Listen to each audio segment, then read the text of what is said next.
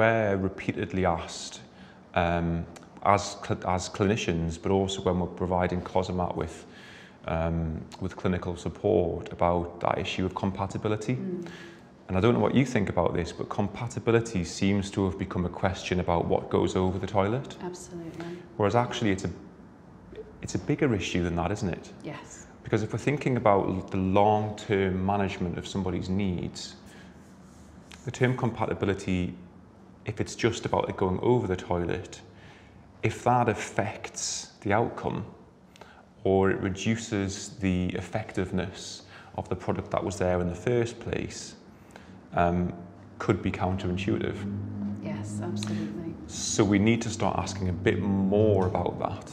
So yes, it's obviously incredibly important what, what goes over it in terms of long-term future-proofing, but we need to be asking questions about um, the uh, douche length and mm. positioning, mm. Um, how the water flows from that, what the water pressure is, mm. you know, how how does something going over the toilet affect the outcome and making sure that compatibility actually means something that it supports the functional outcome. Absolutely. Do you have that shared experience? Yes, it's a question that I'm asked a lot about compatibility. Does this shower chair go over the toilet? And like you say, there's so much more to than just being able to place a shower chair or commode chair over a toilet, we need to think about that person, are they getting clean?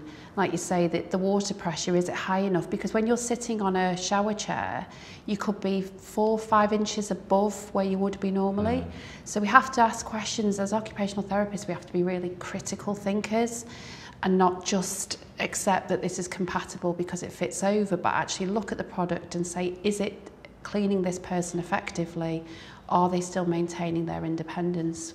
when they're using the, the wash dry toilet. Yeah. So that's a really important point about compatibility. And like I say, it's about evaluating a piece of equipment and evaluating a product and using those critical thinking skills that I think we all have to say, is this going to work for the person? Are we going to get the most effective outcomes? Yeah, no, it's really important.